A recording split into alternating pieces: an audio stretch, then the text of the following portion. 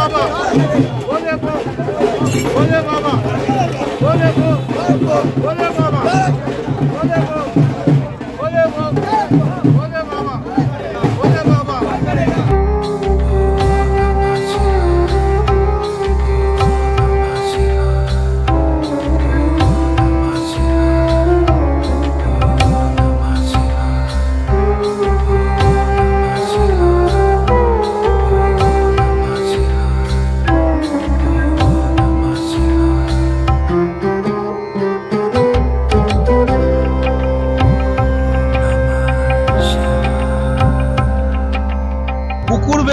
দেখাবে না ওদের দিকে।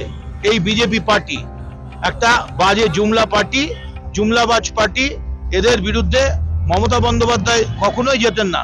গিয়েছিলেন বাংলার স্বার্থে যে কেন্দ্রের কাছে গিয়ে আমাদের কথা বলবেন এবং এক লক্ষ হাজার কোটি বাকি সেই টাকা, একশো দিনের কাজ থেকে সমস্ত কিছুর টাকা আমাদের সমস্ত প্রকল্প বন্ধ করে দিচ্ছে।